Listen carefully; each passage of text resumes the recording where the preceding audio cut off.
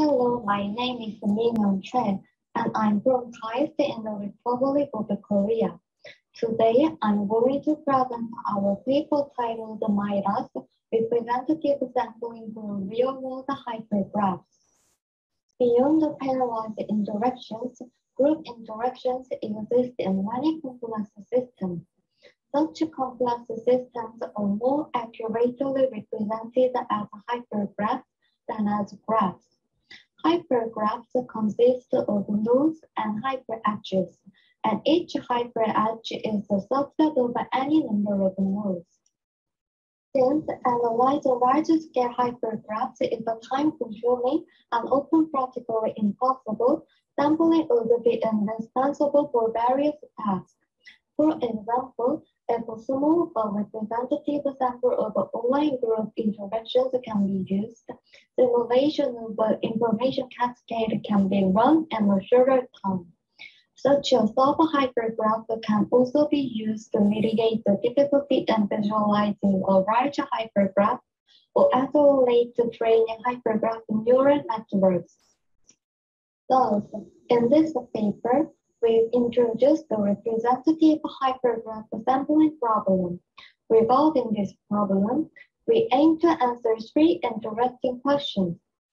First, what is the representative sample? How can we measure the quality of a hypergraph as a representative sample? To this end, we measure the difference between sampled and entire hypergraphs using 10 statistics for the structure of hypergraphs. Further, the benefits and limitations of the simple and intuitive approaches for representative hypergraph sampling. With respect to this question, we try six intuitive sampling approaches and 11 real-world hypergraphs and then analyze their characteristics. How can we find a representative of a hypergraph rapidly without extensively exploring the search space? Regarding this question, we propose MIDAS, which overcomes the limitations of the previous simple approaches and finds over the most representative samples. Our problem is formulated as follows. When a large hypergraph and a sampling portion are given, our objective is to find the sub-hypergraph that preserve the structural features of the given hypergraph under the given sampling portion. We consider 10 statistics for the structural analysis of hypergraphs. As shown below, these statistics include node level, hyperedge level, as well as graph level statistics. We numerically measure the quality of a hypergraph in 10 aspects. Specifically for probability density functions, we measure the distance for the Kolmogorov-Smirnov of these statistics. For scalars, we measure the relative difference. However, since the scales of the distances are different from each other, it is difficult to directly compare the qualities of the hypergraphs while considering properties parallelly. To alleviate this problem, we compute the rankings and justice scores with respect to each property and average them. What we did can be explained more clearly in the given figures. The distance in size distribution is more than 10 times smaller than the difference in density. So if we simply average them, the difference in that density mainly accounts for the average of these two values.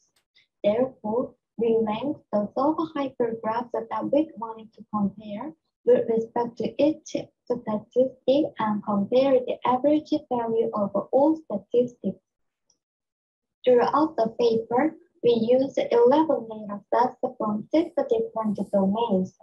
This table summarizes which data set we used and what hyperedge and node represents in each data set. We categorize six intuitive approaches into node selection methods and hyperedge selection methods. Node selection methods choose a subset of nodes and then return the induced sub-hypergraph. On the other hand, hyperedge selection method choose a subset of hyperedges and return them as self-hypergraph.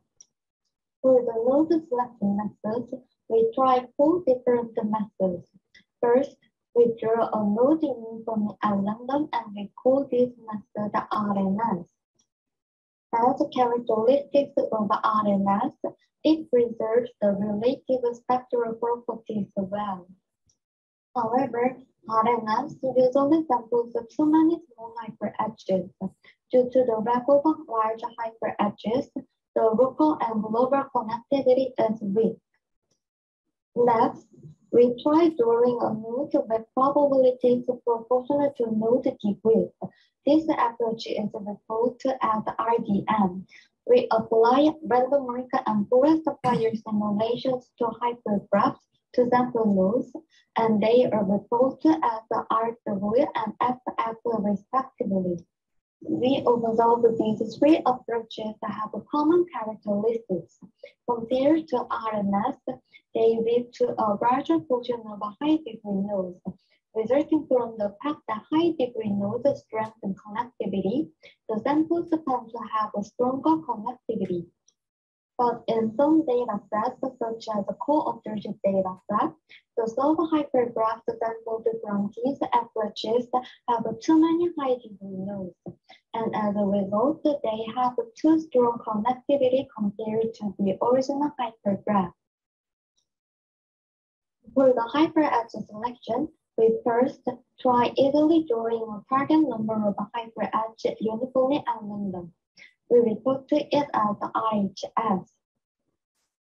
This approach preserves the hyperedge level statistics nearly perfectly, in addition to connected component sizes, related singular values, and global clustering coefficients. But since RHS is equivalent to uniform hypergraph specification, the subgraphs from this approach suffer from weak connectivity. Next, we extend the thoroughly induced edge sampling method to hypergraphs and refer to it as a TIHS. TIHS well preserves the properties that are overlooked by RHS, such as node degrees, and the connectivity tends to be stronger in self-hypergraphs sampled by TIHS than in those sampled by RHS. In some cases, however, it leads to too strong connectivity compared to original hypergraphs. Analyzing the simple approaches motivates us to come up with our method Midas. The first finding is that RHS performs best, but if the samples suffer perform weak connectivity, including high degree nodes. The second finding is that degree preservation is strongly correlated with the abilities to preserve other properties and those of the overall performance. The left figure shows that Pearson correlation coefficients between degree and other properties are relatively high. The right figure shows that the average degree has a strong correlation with overall width and density. Thus, we aim to overcome the of high degree nodes of RHS while maintaining its strength. We also focus on better preserving node degrees while expecting that this also helps preserve other properties. Towards this goal, we first present our preliminary sampling method Midas the basic. To hmm. increase the fraction of high degree nodes, this method prioritizes hyperedges composed only of high degree nodes. For example, when there are two hyperedges, E1 and E2, we aim to prioritize the hyperedge E2 because it consists mainly of nodes with a higher degree. Uh, specifically, Midas the basis samples a target number of hyperedges with probability proportional to the minimum degree of nodes in each hyperedge to the power of alpha. A for example, let's take a look at a hyperedge which consists of nodes with given degrees. Since the minimum degree of the nodes in this hyperedge is 2, in this case, we draw it with probability proportional to 2 to the alpha. In Midas basic, we analyze how alpha affects the samples of hypergraphs in practice. First, we observed that the degree distributions in samples tend to be more biased toward high degree nodes as alpha increases. This shows a promising characteristic of alpha, which can be exploited to control the bias in degree distribution.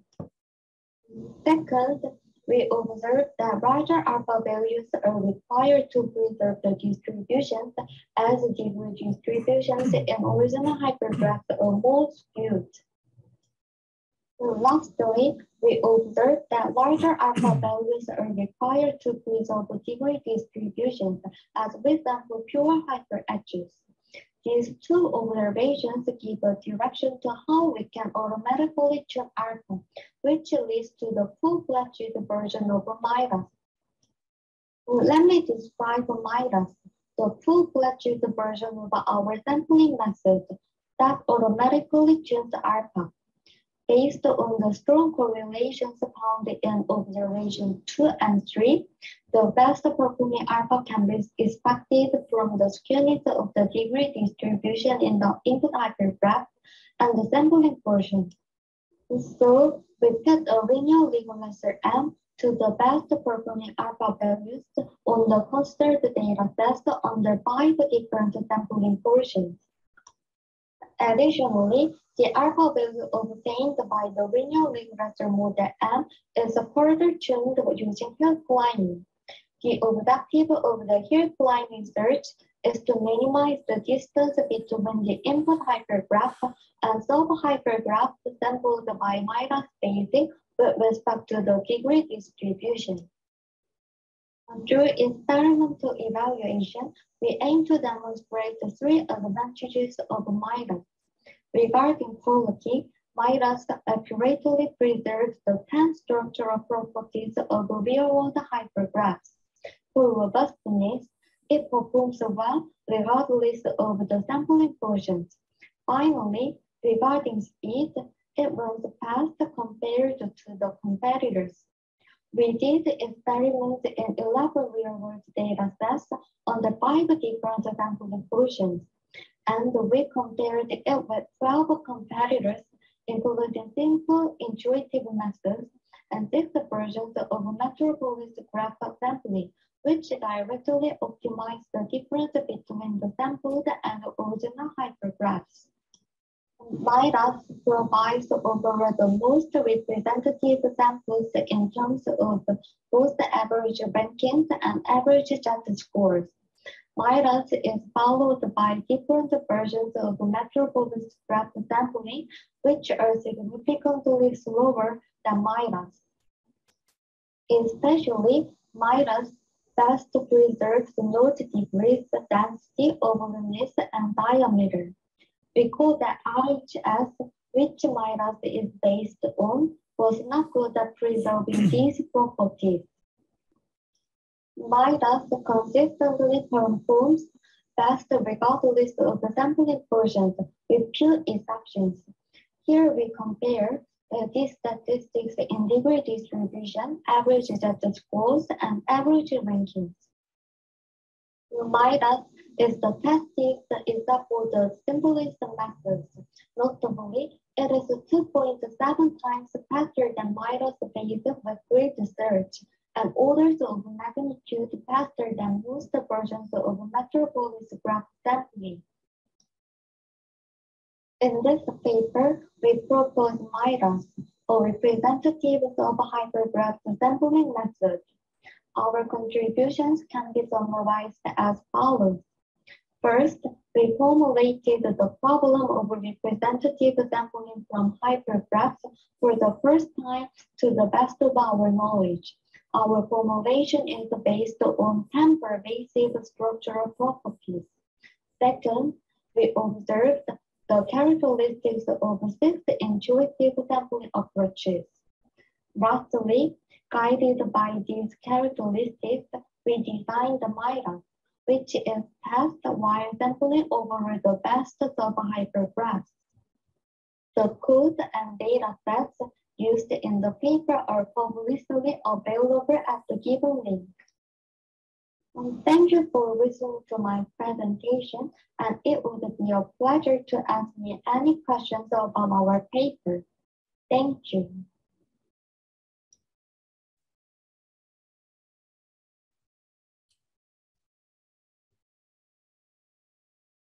So any questions in the chat? Um, I, I don't see any questions in the in the Zoom, but um, did anyone post anything in the in the Whova?